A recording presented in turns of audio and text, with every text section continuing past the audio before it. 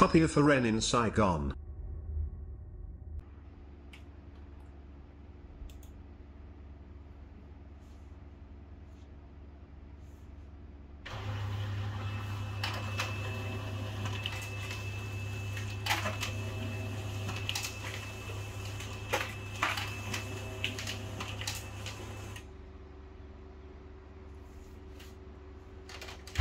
Xin chào các bạn, chúng ta có một cái máy in à, HP Laser sát rồi M402DN nó đang bị kẹt giấy tình trạng các bạn thấy ha.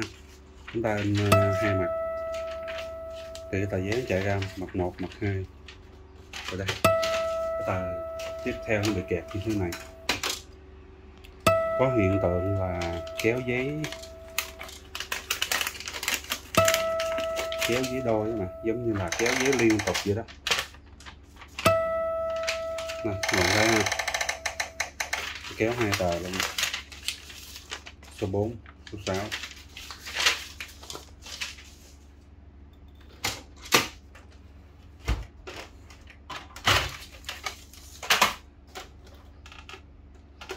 thường khi anh kẹp giấy hai mặt các bạn nhớ kiểm tra phía dưới này.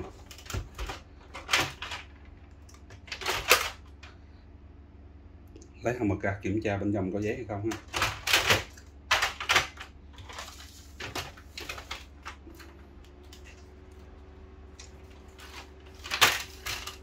Bây giờ tôi sẽ thử in trên cái khay tay xem nó bị không nha các bạn.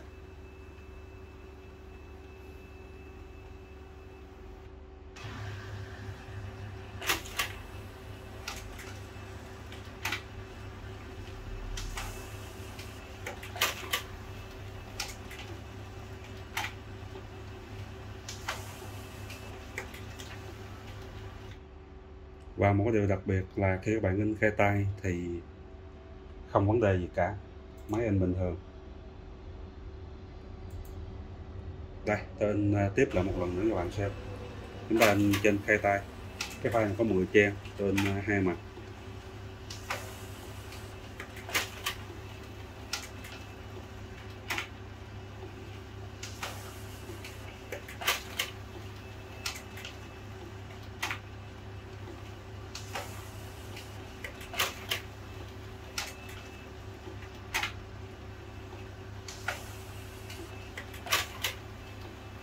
Các bạn thấy máy in hoạt động ờ, bình thường ha.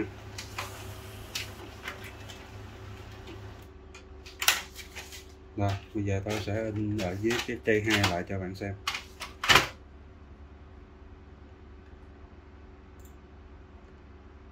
Ban này rất là đặc biệt nha các bạn.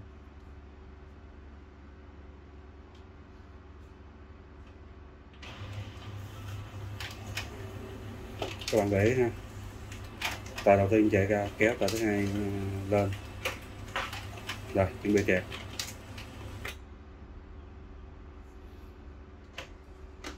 Ban này ờ, hơi khó chịu nha. Các bạn lên một mặt thì nó chạy vô tư ha. Chạy không có bị.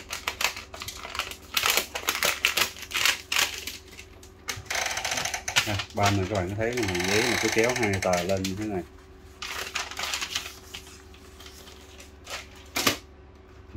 Rồi, bây giờ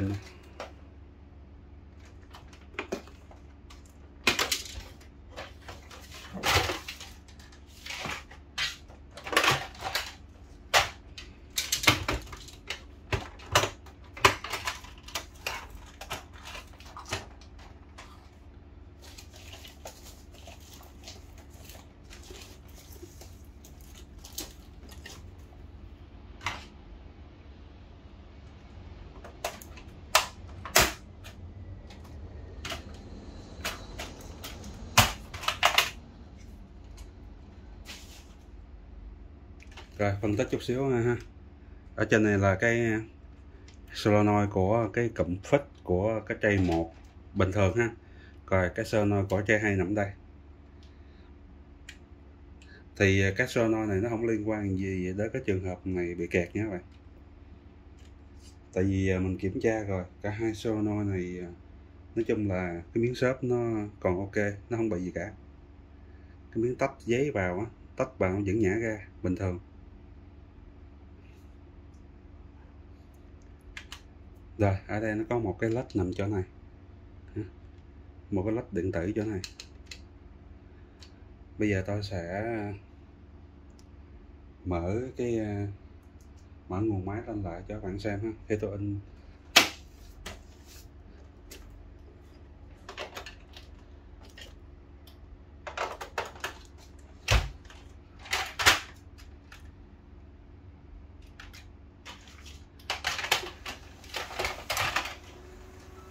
quay thì các bạn sẽ dễ quan sát hơn chút xíu ha.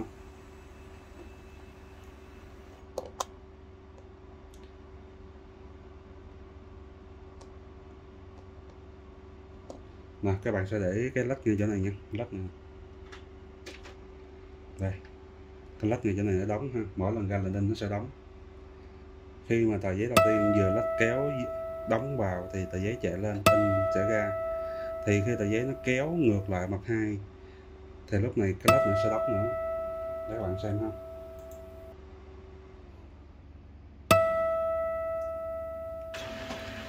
Rồi, đóng. Giấy chạy lên. Giấy kéo vào thì này tôi đóng thêm một lần nữa. Nó lại đóng thêm một lần nữa, thành ra kẹt giấy. Tức là cái lệnh nó, cái tờ giấy nó chạy, thay vì nó chạy mỗi một tờ giấy một chu kỳ. Tờ giấy chạy ra xong kéo vô là một chu kỳ, thì nó đóng một lần nhưng mà khi tờ giấy vừa kéo vào, cái tờ thứ hai vừa kéo lên, thì nó lại kéo thêm một tờ nữa. Nên là mới ra cái lỗi là kẹt giấy như thế này các bạn. Đây các bạn thấy không hai tờ giấy nó nằm cùng lúc tại ngay cái khu vực ngay chỗ ờ, đắp lép ha, nên là nó bị kẹt giấy. Nó phân tích thì hơi nhiều, nhưng mà thật ra thì ờ, tất cả lỗi này nó nằm ở cái lách này.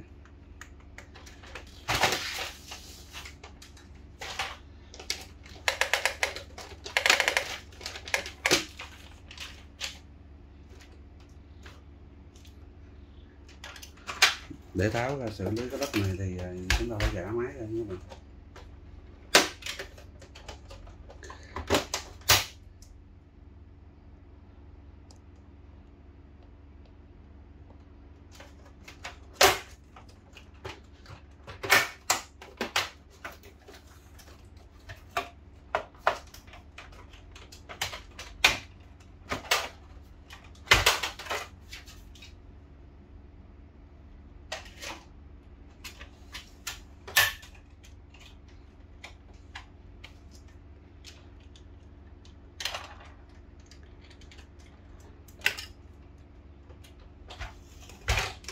chỗ này mở mà cứng lên. Thì đây. Quan lại ngay chỗ này có cái móc nhựa chỗ này. Rồi, chúng ta lấy cái nắp này ra. Để tháo được cái ờ, cái lách này ra thì ờ, các bạn sẽ gỡ ngay khu vực này, mở ra hết ha.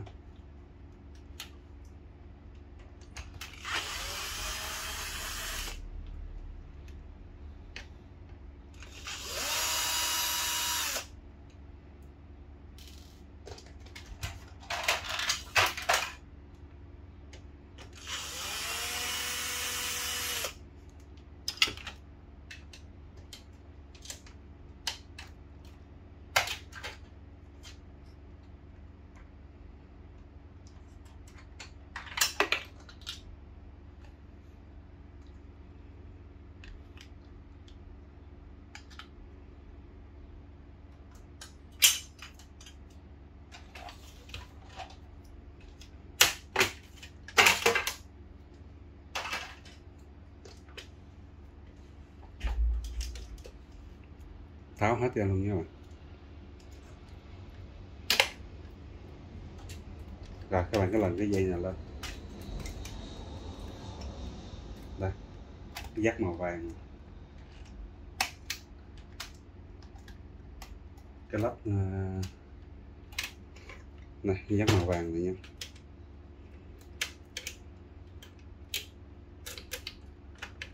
Này tháo dây này ra.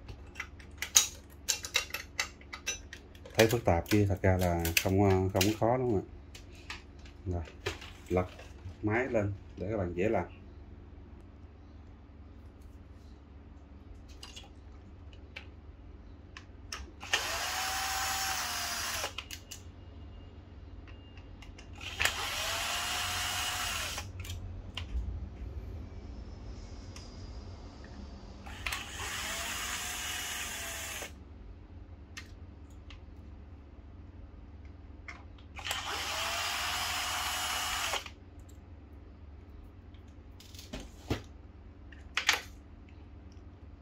Các bạn tháo main motor ra.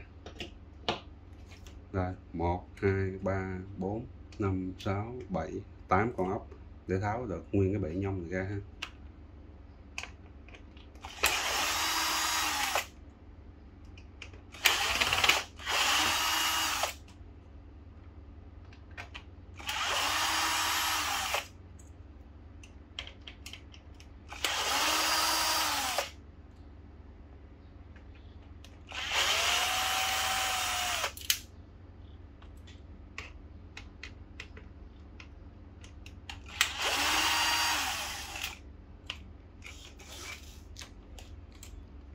trên hai con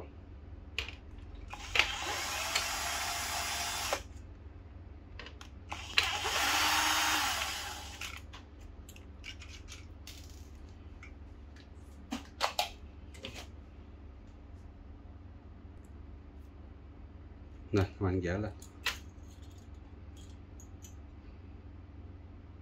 Lưu ý có cái lò xo này các bạn. Nó sẽ nằm như thế này. Để các bạn khi có tháo mà cứ gớt ra thì bạn nhớ gài vào cái ờ, cái đường thẳng lò xo này, nó nằm thẳng ra ha. Còn cái đầu còn lại nó hơi móc hơi nguéo nguéo một chút.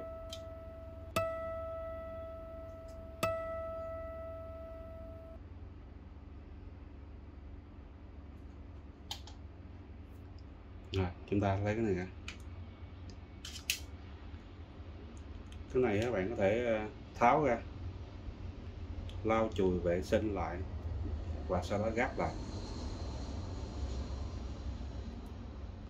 Đây, tôi sẽ hướng dẫn các bạn cách xử lý luôn. Nó sẽ hơi ờ, đòi hỏi khéo tay chút nha các bạn. Video này à, dành tặng riêng cho các bạn hội viên của kênh nhé. Đây, các bạn dùng một cây kìm mổ vịt kẹp ra. Những ai làm máy photocopy thì thường sẽ biết à, cách để làm mấy cái led này ha. Bạn sẽ biết cách để tháo ra.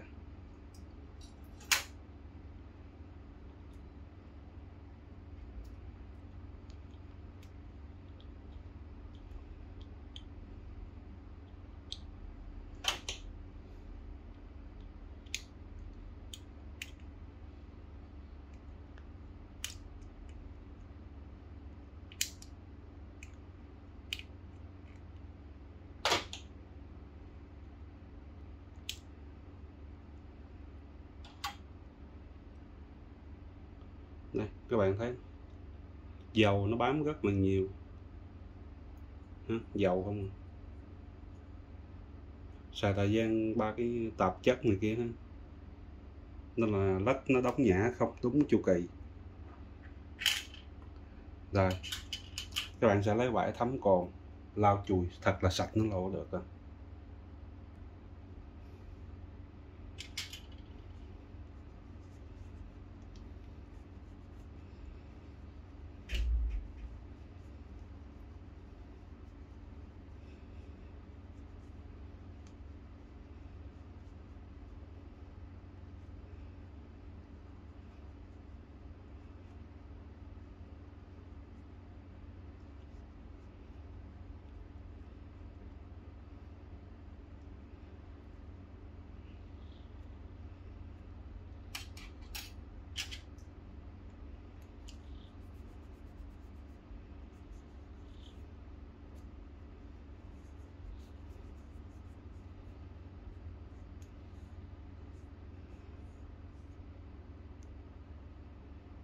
các bạn thấy lau khô ha lau sạch luôn nha các bạn.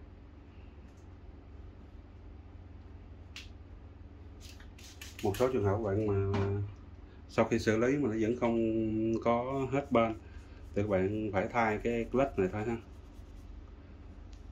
Đó là điều à, bắt buộc à nhưng mà thật ra mấy cái clutch này khó hơn lắm chỉ bám dầu nhiều quá, không có hoạt động ổn định.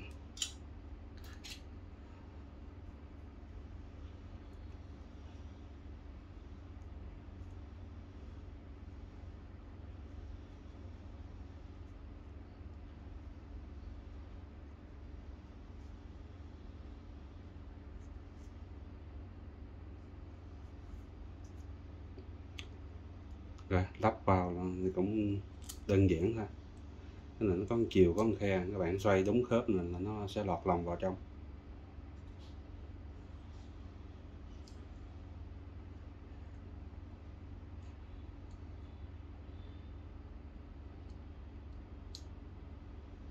Rồi, để cái việc mình lắp là vào cho nó dễ dàng thì à, ở ngay chỗ này.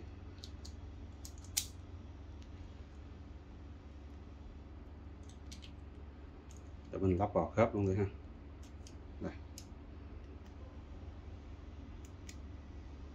Các bạn cho cái ờ, nhựa nó lọt lòng vô trong lại đi. À. Đó, bạn lắp vào. Cái này cuộn dây thôi không có gì hết.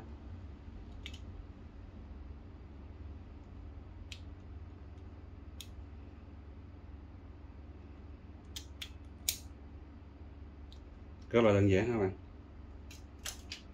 Nó còn cái miếng này nữa miếng này thì các bạn cũng ờ, la cho nó sạch. Các bạn thấy dầu bám không ha? Giờ ừ, lao cho nó sạch lại.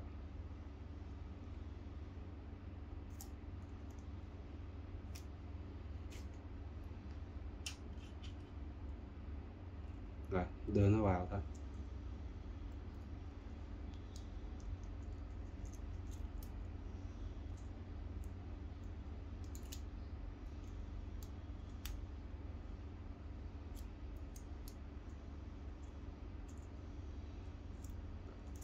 Các bạn thấy mà khó quá. Người ta bóp nó vào lại một tí.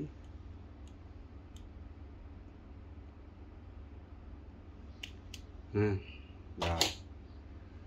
Bây giờ thì gắn dễ hơn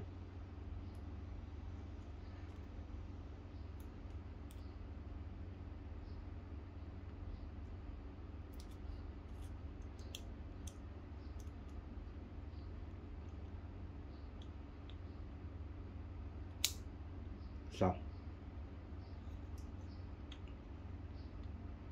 nó có cái nhông chỗ này, mọi người đừng quên nha. Này ăn chiều một thôi. Rồi, vô khớp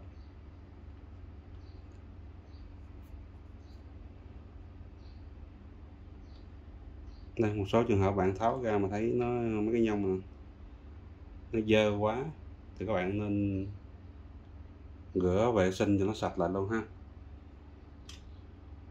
Đây, hai cái nhông chuyển động nè. Dơ quá gửa lại nha.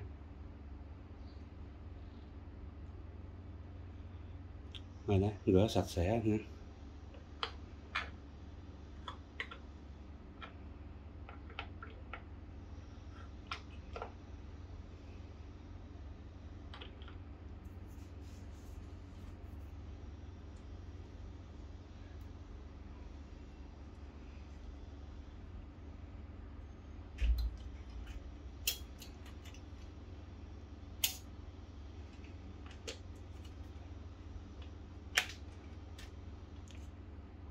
sau khi mà lắp vô khớp lại thì chúng ta siết góc lại thôi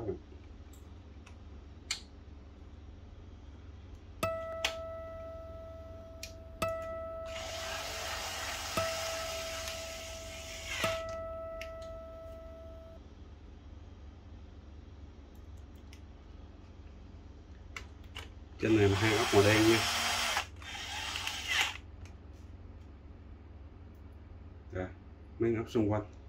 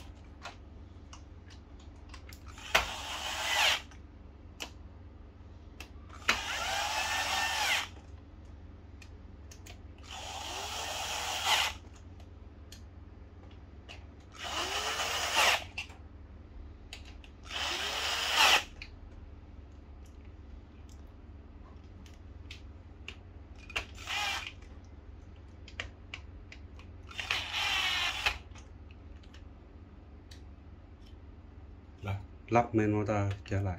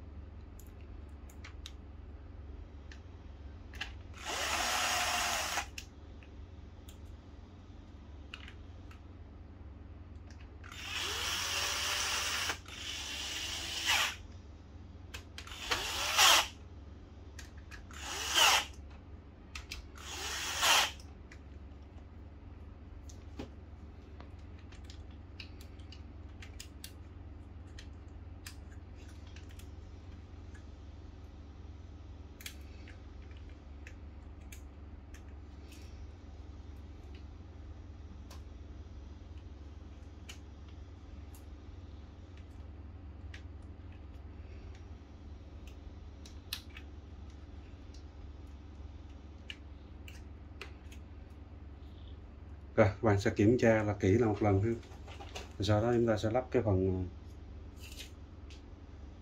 đảo mặt.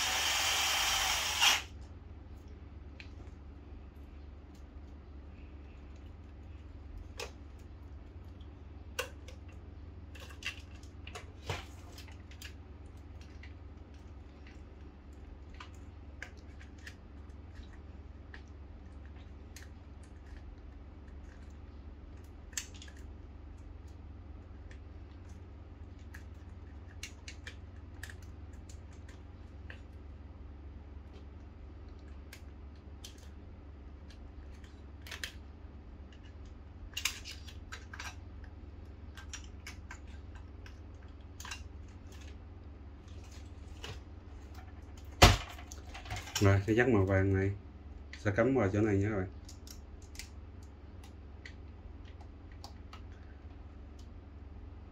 Ha, cắm vào chỗ này. Nó có chữ yellow ngay chỗ này. Còn thấy chữ yellow yellow. Ngay chỗ này có chữ violet blue. Violet. Như màu tím. Bạn sẽ không cắm nhầm được. Rồi sau khi xong hết rồi chúng ta sẽ lắp vào test lại thôi nhé các bạn.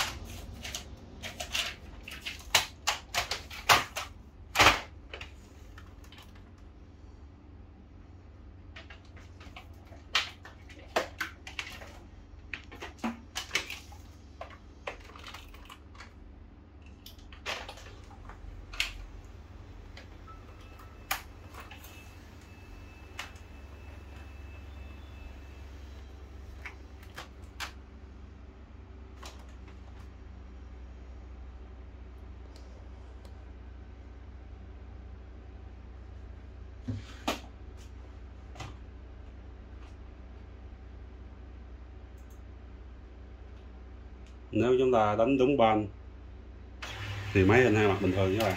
Đang kéo từ chơi hai nha. Ba đỡ các bạn là đúng ban.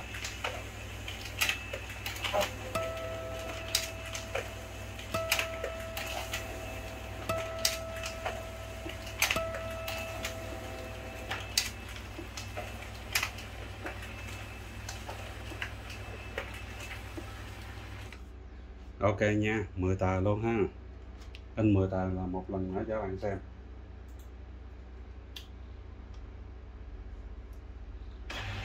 Video này à, gọi là tuyệt chiêu nha các bạn. Dành tặng cho các bạn hội viên của kênh ha.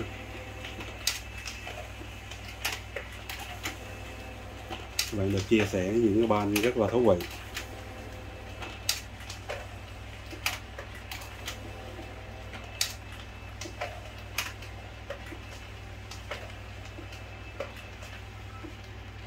Rồi, ok. Bây giờ mình ghép máy lại thôi. Cảm ơn các bạn đã theo dõi video nha. Like, share, comment, mạnh tay vô nha. Xin chào và xin hẹn gặp lại trong các video tiếp theo.